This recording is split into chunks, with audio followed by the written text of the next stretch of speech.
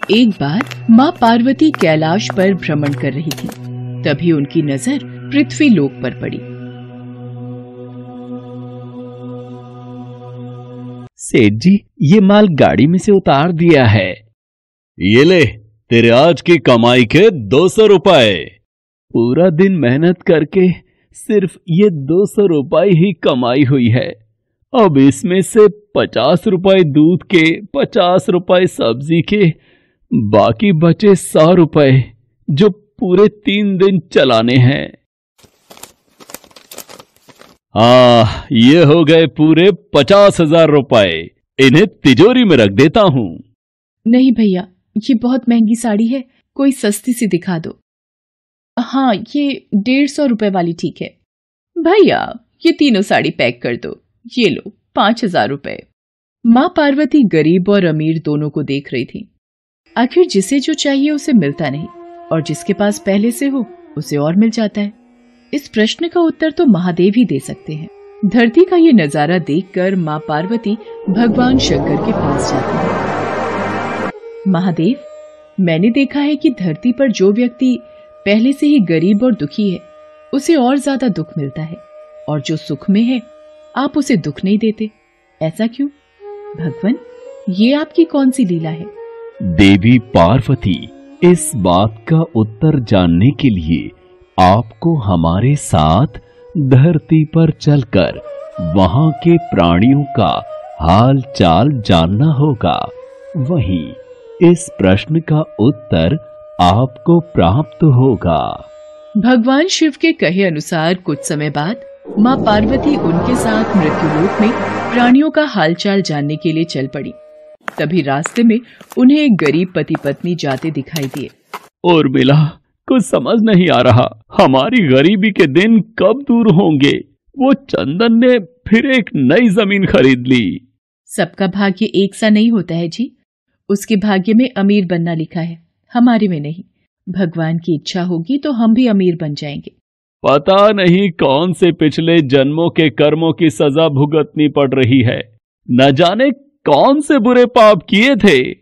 हे महादेव आप इन दोनों पति पत्नी को कुछ ही पलों में अमीर बना सकते हैं। मेरे कहने पर आप इन्हें अमीर बना दीजिए। ये बेचारे कितने दुखी हैं। देवी पार्वती इन दोनों के भाग्य में अभी अमीर बनना नहीं लिखा है। महादेव जब हम इन्हें धन दे देंगे तो इनकी गरीबी दूर हो जाएगी। फिर ये भी अमीर और सुखी हो जाएँगे। कृपया करके आप इनकी मदद कीजिए प्रभु। देवी पार्वती मैं तुम्हारी इच्छा अनुसार इन्हें धन प्रदान कर देता हूँ, पर उसका मिलना या ना मिलना कर्मों पर निर्भर करता है। पार्वती जी के कहने पर भगवान शिव ने सोने की अशर्फियों से भरी एक पोटली उस रास्ते में डाल दी।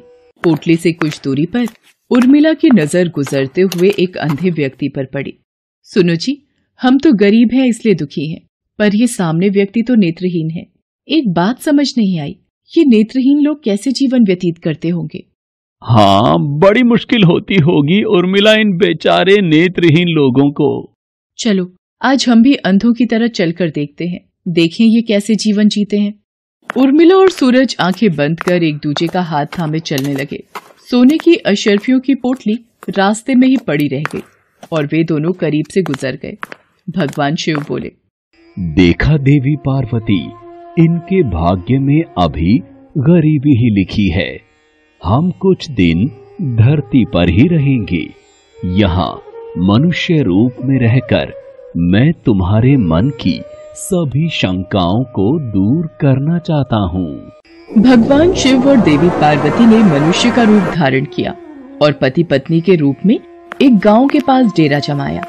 शाम के समय देवी पार्वती भगवान शिव से बोली, स्वामी मैं रसोई की तैयारी शुरू करती हूँ।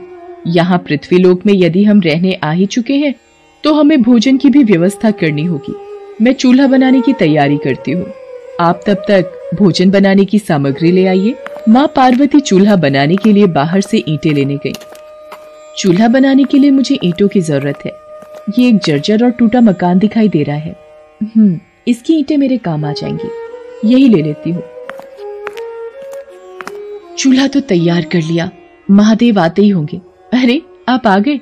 ये देखिए मैंने चूल्हा तैयार कर लिया। पर आप खाली हाथ क्यों लौट आए स्वामी? भोजन कैसे बनेगा? देवी पार्वती अब सामग्री की कोई आवश्यकता नहीं है क्योंकि जिस प्रश्न का उत्तर ढूँढने के लिए आप आई थी वो आपको स्वयं मिल गया। मैं कुछ समझी नहीं स्वामी। मेरे प्रश्न का उत्तर मेरे समक्ष ही है। हाँ देवी पार्वती आप यही जानना चाहती है ना कि इस पृथ्वी पर क्यों गरीब लोग ज़्यादा परेशान होते रहते हैं? अच्छा ये बताइए आप इस चूल्हे को बनाने के लिए ईटे कहाँ से लेकर आई हो? प्रभु इस गाँव में बहुत से ऐसे घर भी हैं जिनका रखरखाव सही ढंग से नहीं हो रहा है। उन पुराने घरों की जर्जर हो चुकी दीवारों में से मैं ईंटें निकाल कर ले आई। इसका मतलब जो घर पहले से खराब थे आपने उन्हें और खराब कर दिया। जबकि आप मज़बूत घरों की दीवारों से भी तो ईटे ला सकती थी। प्रभु जो घर अच्छे और सुंदर दिख रहे थे उस घर के लोगों ने अपने घरों का रख रखाव बहुत अच्छी तरह किया है। ऐसे में उन सुंदर घरों को बिगाड़ना मुझे उचित नहीं लगा। देवी पार्वती कुछ दिन पहले पूछे आपके प्रश्न का उत्तर भी यही है। जिन लोगों ने अपने जीवन को अच्छे कर्मों से सुंदर बना रखा है, उन्हें दुख कैसे हो सकता है? इस संसार में हर मनुष्य अपने कर्मों का ही फल पाता है। सबके पास सब कुछ नहीं होता। मनुष्य के पिछले जन्मों का कर्म, उसे इस जन्म में भुगतना ही पड़ता है। और यदि वो अपने इस जन्म और आने वाले अन्य जन्मों को सुखी बनाना चाहता है तो हमें सदैव ही पुण्य कार्य करते रहना चाहिए, ताकि हमारे कर्म उसमें जुड़ते रहें। आपको ज्ञात है, वो मार्ग में उस दिन एक नेत्रहीन व्यक्ति।